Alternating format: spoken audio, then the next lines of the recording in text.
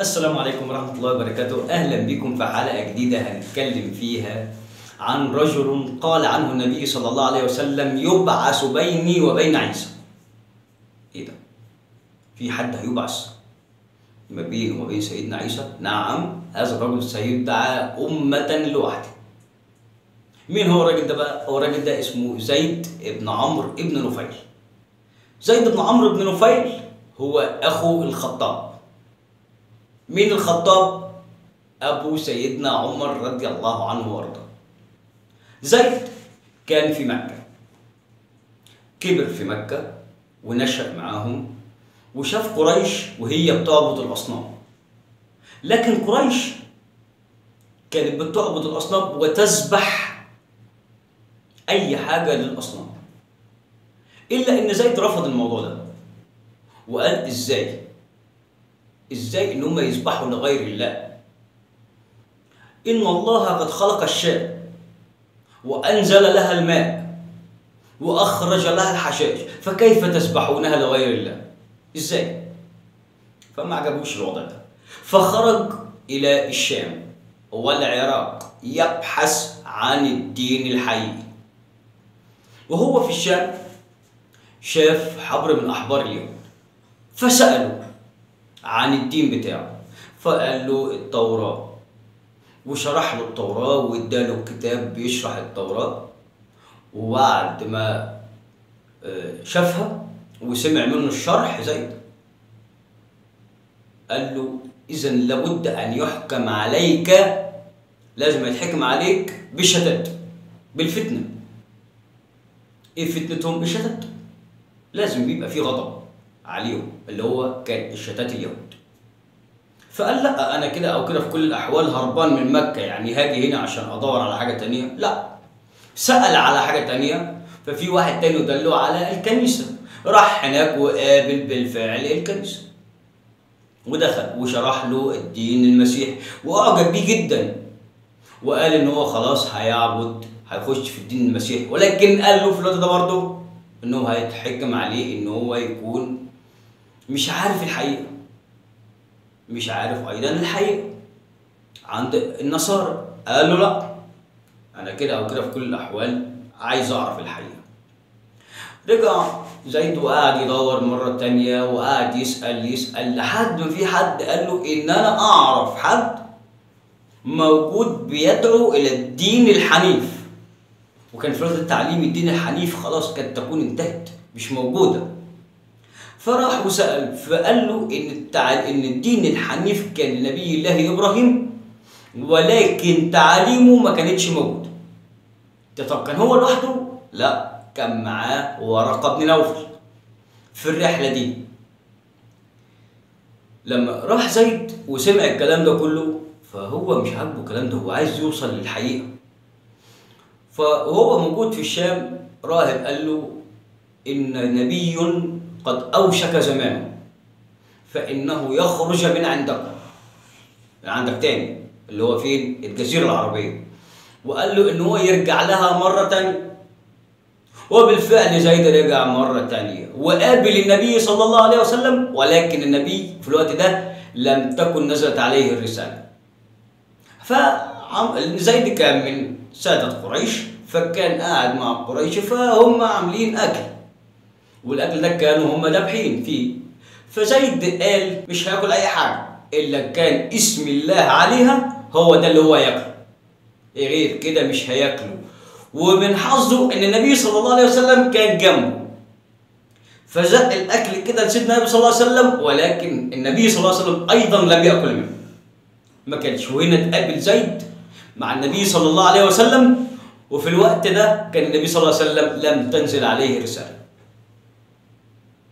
زيد فضل موجود في مكة وكان بيدعوهم إلى دين إبراهيم الحنيف وترك عبادة الأصنام. ولكن ما تقابلش بشيء كويس بالعكس بل إن قريش أهانته.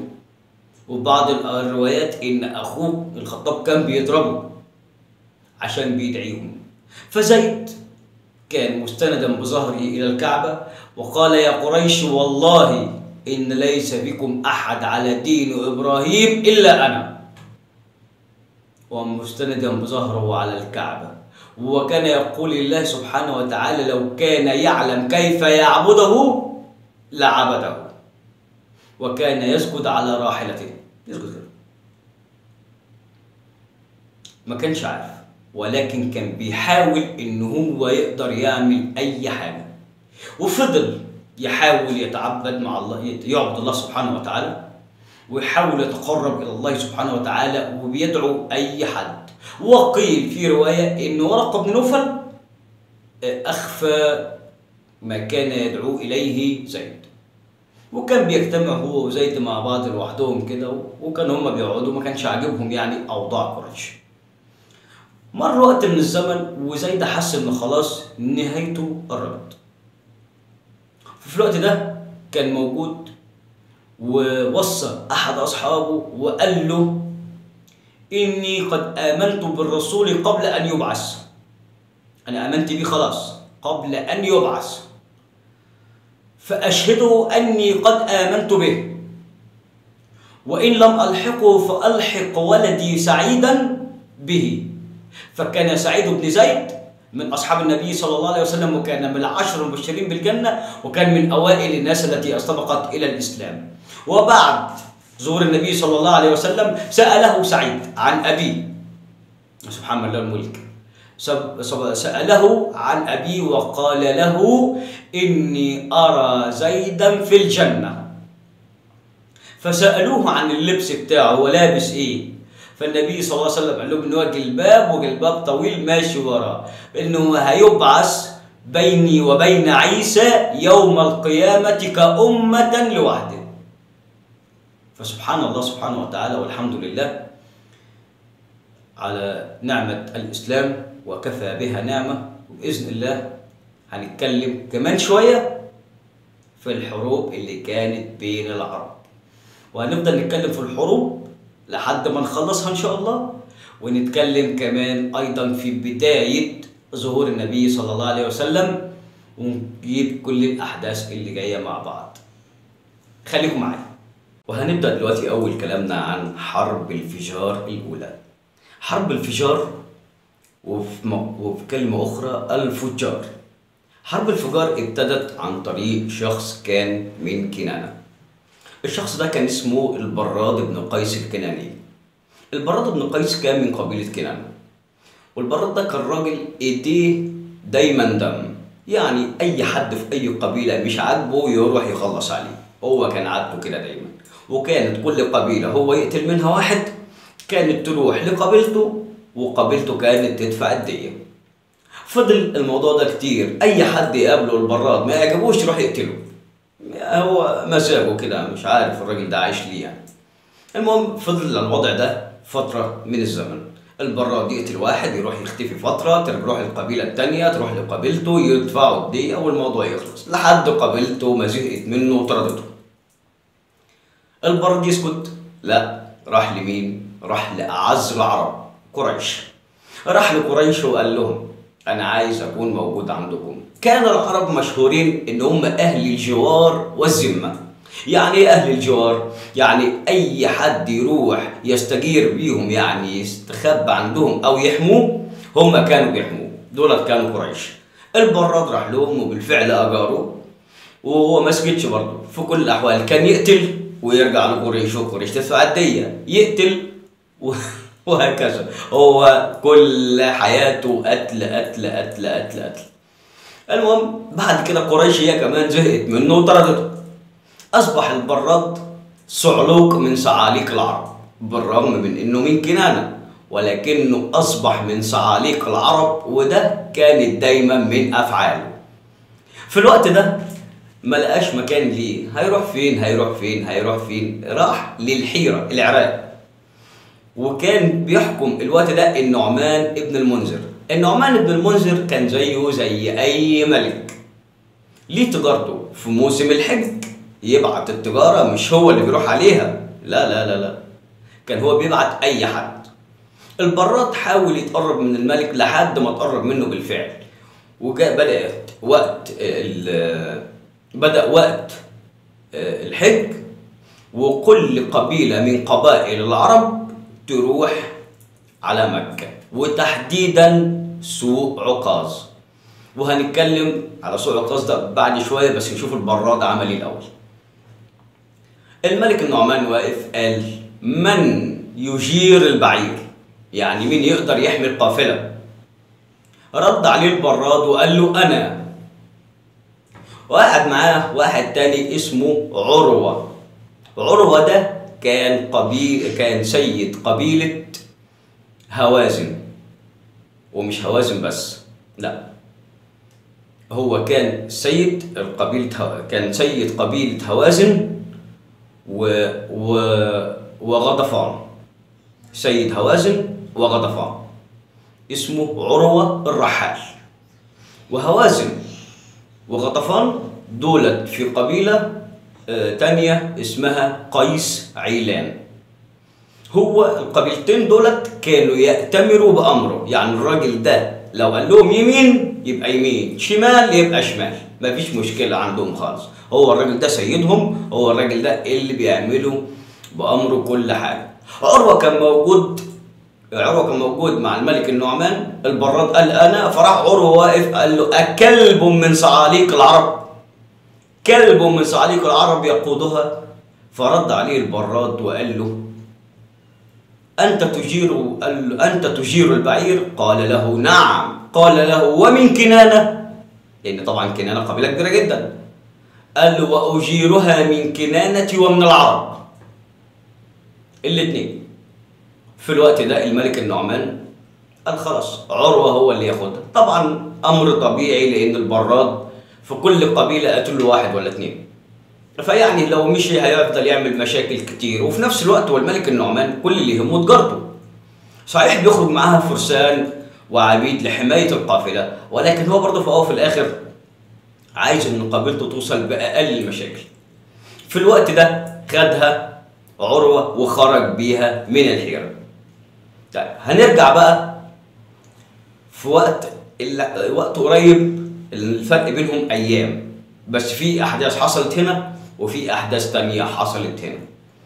نرجع لمكة ولسوق عكاظ مكة وسوق عكاظ ده كانت نقدر نقول إن هي يعني مركز مركز ال social media ال social media الأيام دي. هي دي كانت سوق عكاظ بمعنى إن الملك النعمان في العراق وفي التاني في الحجاز وفي التالت في الشام وفي رابع في اليمن. دول كل دولت فرسان وفرسان كتير بس يعرفوا بعض إزاي؟ هم هيعرفوا بعض إزاي؟ كانوا بيروحوا في سوق عكاظ سوق عكاظ هناك كان يروح الفرسان الشعراء والبضايع. ونتكلم في الفرسان والشعراء. كل قبيلة تاخد الشعراء بتوعها ويبقى فيه مناظرة بينهم. زي النابغة السفياني كده و... والمتنبي الناس دي كلها وصلت لنا وصلت لنا بنقل الأحداث وإن كان وجودهم دايما في سوق عكاظ وفي سوق عكاظ ده كل الناس بتعرف بعض. فرد الشعراء بيتكلموا هناك في أول يوم في سوق عكاظ واحد شاعر طلع وقال قاعد يتفاخر بنسبه وأنا من قبيلة كنانة وأنا وأنا وأنا وأنا. طبعا في واحد تاني قاعد من قيس علان بس مش عاجبه الكلام ده. الشاعر ده اللي هو قاعد بيتباهى قال اللي يقدر إنه يضرب رجله بالسيف يضربه وبالفعل خرج واحد من هناك ومن قبيله قيس علان وشد السيف بتاعه وراح ضارب رجله بالسيف. وهنا اتجمعت من كنانة وهنا اتجمع ناس تانية من قيس علان. ولكن الموضوع خلص بسرعة لأن هو كده أو كده اعتبروه إن هو تعدي على كل القبائل في الأشهر الحرم والأشهر الحرم كان لا يجوز فيها القتال ومن يقاتل فيها كانوا العرب يلقبوه بالفاجر. عشان كده اطلقت حرب الفجار أو الفجار. المهم في أول يوم حصل الموضوع ده وبدأ الشاعر ده يتكلم والتاني رد عليه بالسيف وهنا خلص الموضوع وخلاص وانتهت على إن هو الغلطان والموضوع منتهي. تاني يوم كان في امرأة جميلة جدا.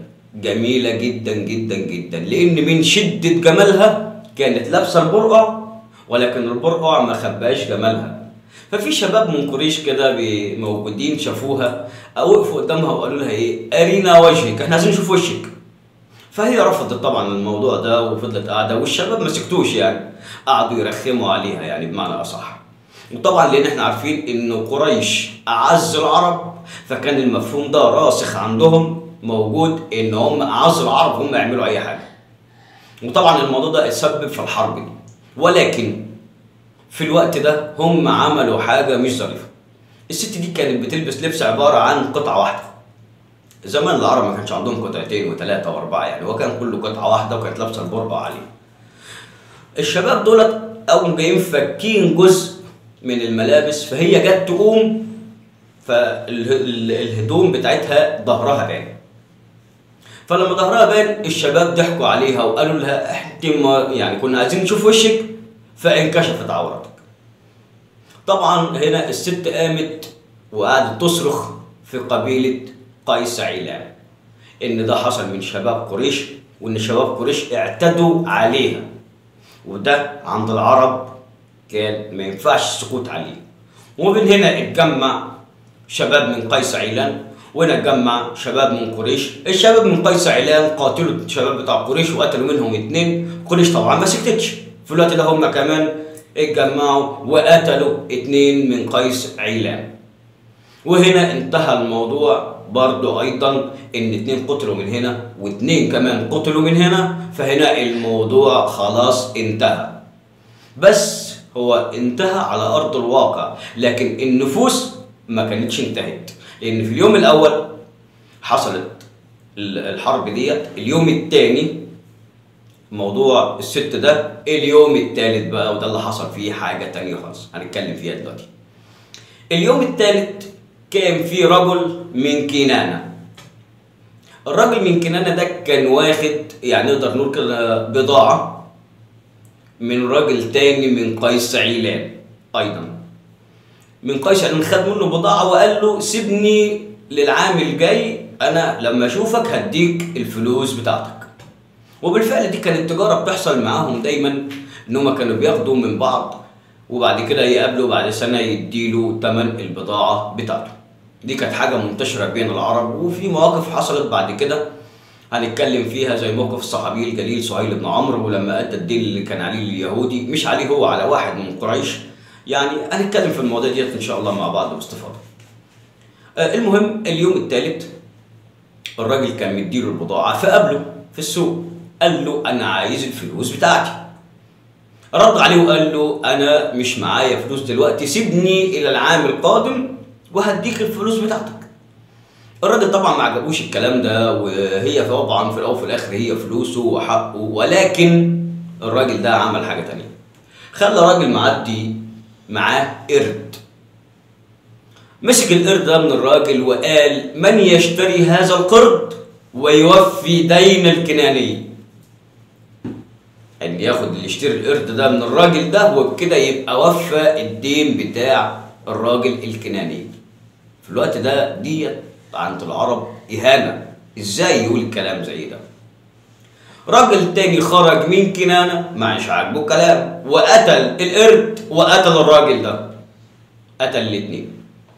وفي الوقت ده هنا النفوس حميت وخلاص هم هيقوموا عشان تحصل بينهم مجزرة. في الوقت ده كان الراجل موجود والراجل ده كان عمره معدي المئة سنة. فقال لهم يا قوم على ما تقتتلون؟ أتقتلون بعضكم بعض من أجل قرد؟ أنت تقتلوا بعض عشان قرد؟ هنا اتحكمت العقول وعقلوا الكلام وقالوا لا. خلاص. وهنا الراجل ده دفع ديته وخلاص خلصنا على كده وعدى اليوم الثالث زي ما هو. وفي آخر اليوم الثالث قبل ما يعدي تيجي رسالة. إيه هي الرسالة؟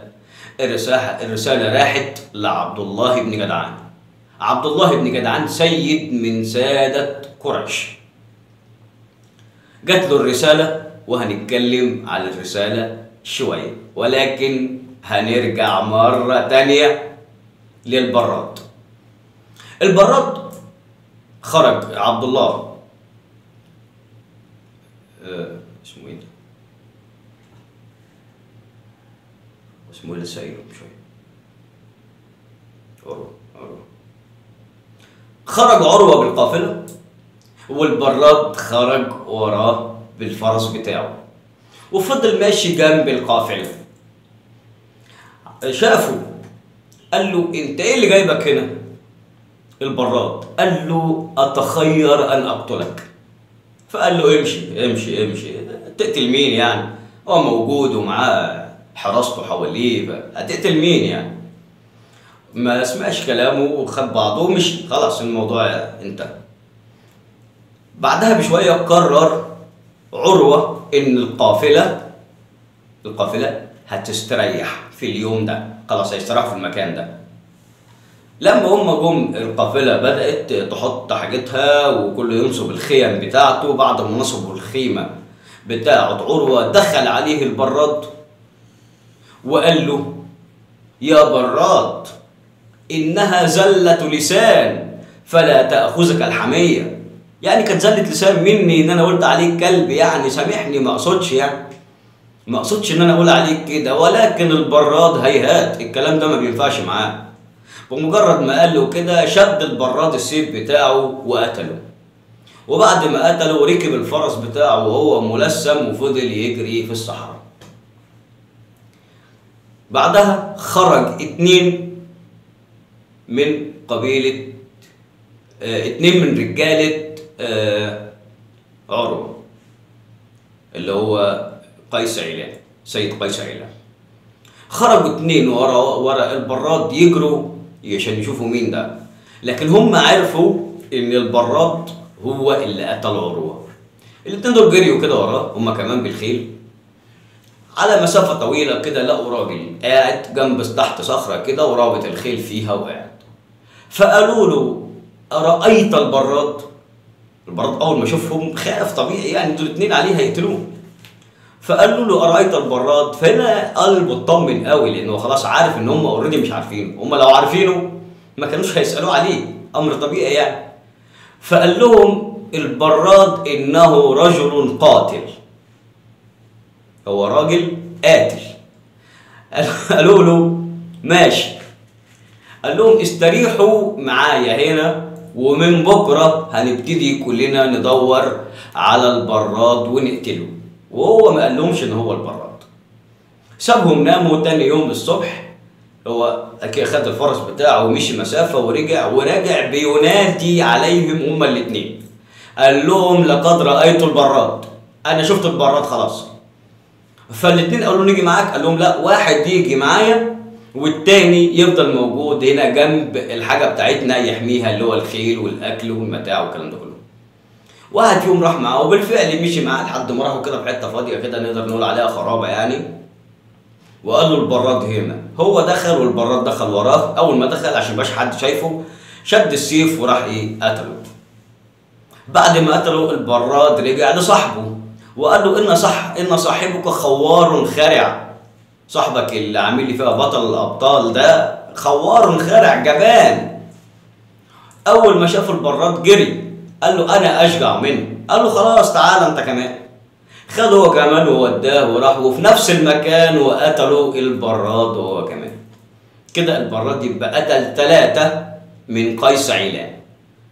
طبعا البراد بعد ما قتلهم خد بعضه ومشي. وكتب رسالة وبعتها لمين؟ لعبد الله بن جدعان في مكة المكرمة عبد الله بن جدعان قرأ الرسالة وشه جاب ألوان إيه ده؟ إيه ده؟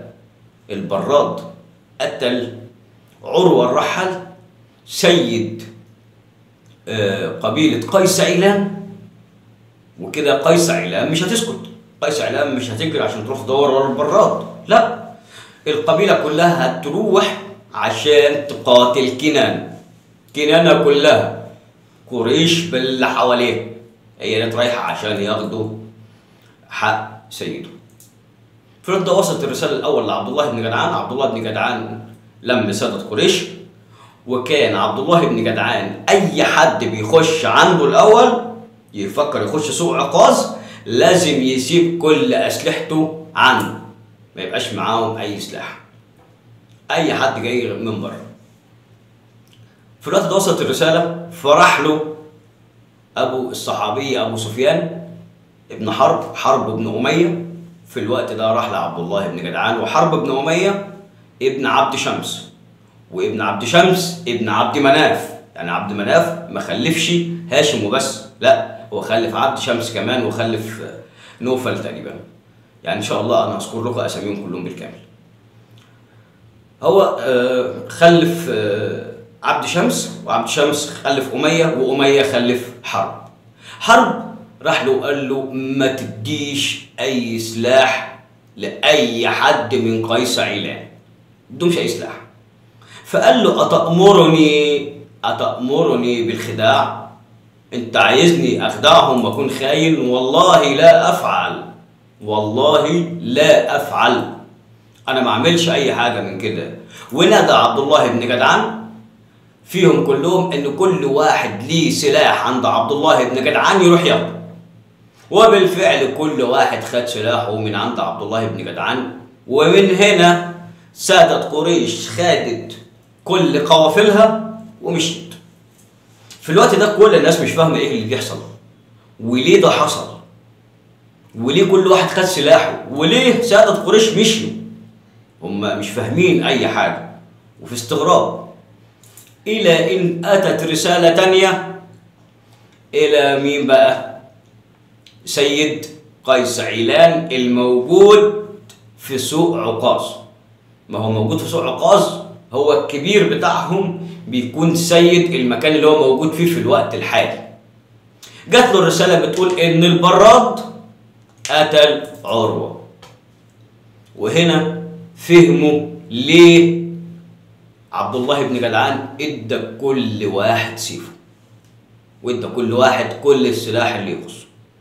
في الوقت ده قيس عيلان قالت لا إحنا مش هنرجع. بالعكس هم مشوا ورا قريش. وهنا بدأت حرب الفجار الأولى وتقاتلوا مع بعض. خلص اليوم كل أولاني بعد ما ده قتلوا من دولت ودولت قتلوا من دولت وخلاص والموضوع خلص على كده؟ لا. بعد اليوم ده ما خلص قالوا لقريش سنأتيكم العام القادم وفي نفس الميعاد. إحنا جايين السنة الجاية وفي نفس الميعاد ده وبرضه هنتقاتل. وبالفعل مرت سنة وجت قيس عيلان. خلاص تمام موجودة. وفي الوقت ده جم واتجمعوا في ميعادهم وانتظروا قريش إن هي تخرج له ولكن لما راحوا هناك لقوهم إن قريش لسه ما جتش وقفوا وقالوا خلاص إن قريش مش جاية وقريش خايفة تحاربنا. طبعا ده عند قريش مستحيل إنه يحصل إن قريش أعز العرب.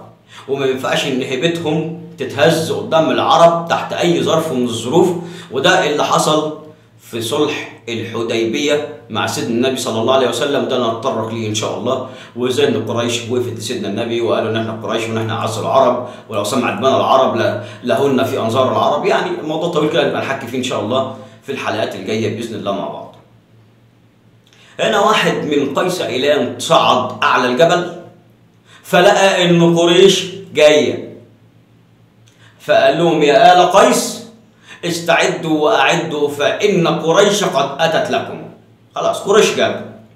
وابتدت الحرب ما بين الاثنين بالفعل وكانت الغلبة في البداية لقريش. ولكن صبرت صبرت. قيس عيلان صبرت قيس عيلان تحت سيوف كنانة إلى أن هربت قبيلة بكر.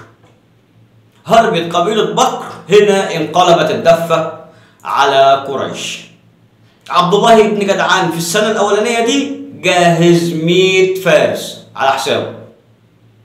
وهنا خلص اليوم ده وكل واحد فيهم رجع تاني لمكانه. وبرضه قالت قيس عيلان إحنا جايين السنة اللي جاية. برضه السنة اللي جاية إحنا جايين. تاني سنة في نفس الميعاد تالت سنة بقى عفوا في نفس الميعاد. جت اتجمعت تاني قيس عيلان واتجمعت تاني قريش. وقامت الحرب بينهم وكانت الغلبة أيضا لقيس عيلان. وانتهت السنة الثالثة ديت بعد ما كل واحد فيهم قالوا إن إحنا جايين السنة اللي جاية. السنة اللي بعدها جاء عبد الله بن جدعان وجهز ألف ألف فارس من ماله الخاص. ألف فارس بأسلحته بكل حاجة. واتجمعوا وهنا خرجت بني أمية اللي هو مين؟ حرب ابن أمية ابن عبد شمس اللي هو أبو سفيان أبوه. وقالوا إن هذا اليوم إن هذا اليوم إما أن نموت أو نهزم قيس عيلان. في الوقت ده عروة. مش عروة في الوقت ده مسعود عفوا. مسعود الثقفي متجوز من سبيعة. سبيعة مين؟ سبيعة بنت آل عبد مناف. عبد مناف اللي هو الأب لعبد شمس وهاشم. هو أبو الاتنين. فدخل فقال لها زوجها ما يبكيك يا سبيعة. أنت بتبكي ليه؟ قالت أبكي على أهلي. ان هم في السنة الأولى غلبوهم والثانية غلبوهم والثالثة غلبوهم. فقالت ابكي على أهلي. أنا أبكي على أهلي من يعني هم عارفين ان هم خلاص رايحين وهينتصروا. قالت ابكي على أهلي. فرد عليها وقال لها يا سبيعة من دخل خيمتك فهو آمن. من دخل خيمتك فهو آمن. قامت سبيعة وخرجت وقالت يا بني كنانة يا معشر قريش من دخل خيمتي فهو آمن. من دخل خيمتي فهو آمن. وابتدت الحرب ما بين الاثنين ولكن هنا حصلت حاجة تانية خالص. معجزة بقى. إن هنا الغلبة كانت لقريش. وإن قريش في السنة دي قتلت الكثير والكثير والكثير من قيس عيلان إلى أن وصل إليها حرب ابن أمية. وصل لخيمة مين؟ سبيعة.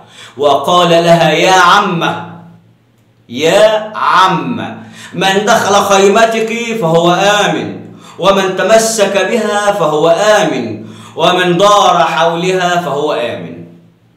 وهنا خرجت سبيعة وقالت لقيس عيلان من دخل خيمتي فهو آمن من تمسك في خيمتي فهو آمن من دار حول خيمتي فهو آمن. فسمعوها فاللي مسك مسك اللي لحق واللي ملحقش دخل الخيمة واللي ملحقش قاعد يلف حواليه. وانتهت بخير وشر. وقبل ما يمشوا الكلمة المعتادة إن إحنا جايين العام القادم. برضه. ماشي. مشوا واتفرقوا وبدأت طبعا في الوقت ده في شباب في قريش بتكبر. يعني اللي كان عنده 10 سنين خدت أربع سنين بقى 14 واللي عنده 14 بقى 18 يعني في ناس شباب بتكبر في قريش. تمام؟ المهم في الوقت ده في السنة الأخيرة د- طلع واحد اللي هو عتبة ابن ربيعة. عتبة ابن ربيعة من عبد شمس. نعم. من عبد شمس. كان موجود معاهم في قلب الحرب دي. بدأ الجيش الجيشين هنا كنانة قريش وهنا قيس عيلان والاثنين أساسا أبناء عمومة. قيس عيلان وكنانة هم أبناء عمومة وكلهم يرجعون لبني النضر. بني النضر. إذا هنا خرج. عتبة بن ربيعة وقال يا معشر مزر يا معشر مضر يا معشر مضر على ما نتقاتل إحنا بنتقاتل ليه؟ إحنا ليه بنتقاتل؟ إحنا هنفضل نقتل في بعضنا لحد ما ينتهي نسلنا ونسلكم. ما هو هنا بيموت رجالة وهنا أيضا بيموت رجالة. ففي الوقت ده إحنا هنفضل نتقاتل لحد إمتى؟ وفي الوقت ده لا سادة قريش كانت تعرف إن عتبة بن ربيعة هيطلع يتكلم؟ ولا كانوا يعرفوا أي حاجة ولكن هو خرج من تلقاء نفسه. وقال يا معشر مضر على ما نتقاتل. إحنا بنتقاتل ليه؟ هنا سيفنى من أبنائكم ورجالكم وهنا سيفنى من أبنائنا ورجالنا. ولن تكون لنا قائمة. خلاص إحنا نفضل نتقاتل لحد إمتى؟ فقالوا له ماذا تريد؟ قالوا له قال لهم نريد الصلح. نريد الصلح. فردوا عليه وقالوا له ولما نتصالح فإن قتلانا أكثر من قتلاكم نتصالح إزاي وإحنا مقتول من عندنا؟ أكتر ما مقتول عندكم. لأن السنة اللي كانت اللي فاتت كانت قريش قتلت منهم عدد لا بأس به على مدار الثلاث حروب اللي كانوا فاتوا قبل كده.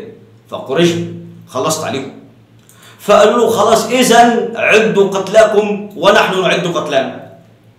أنتوا هتعدوا القتلى بتوعكم وإحنا نعد القتلى بتوعنا. ونشوف مين الاكتر وبدأ الإحصاء في الأعداد هنا وهنا وهنا وهنا لحد ما لقوا إن قيس عيلان مقتول منهم زيادة 20 رجل. يعني مقتول من عندنا 20 زيادة. في الوقت ده جه حرب ابن أمية وتكفل بدفع الدية ليهم للعشرين رجل لوحده. وهنا انتهت حرب الفجار حرب الفجار في مكة المكرمة. وأقدر أقول لك أن النبي صلى الله عليه وسلم وحمزة رضي الله عنه وأرضاه إن الاثنين شاركوا في حرب الفجار. وهنا تكون قريش أعز العرب وإن كان عندهم من المال الوفير والكثير والكثير والقصير لأن قريش كانت أعز أعز أعز العرب. ونرجع لقول الله سبحانه وتعالى حينما قال في الوليد بن المغيرة ذرني ومن خلقت وحيدا وجعلت له مالا ممدودا. إذا ذكر مال الوليد بن المغيرة والوحيد لقب به الوليد بن المغيرة لكثرة ما كان له من المال وكثرة ما كان له من الحكمة فلقب بأنه الوحيد وفي الآية الثانية تبت يد أبي لهب وتب ما أغنى عنه ماله. إذا هنا رب الله سبحانه وتعالى أيضا ذكر مال أبو لهب. فهنا نقدر نقول إن قريش كانت أعز أعز العرب. وكانت قريش أغنى أغنى العرب إلى أن حرب ابن أمية دفع دية عشرين رجلا لوحده. يعني ودية الرجل كانت عشرة من الإبل فتقدر تضرب عشرة في عشرين.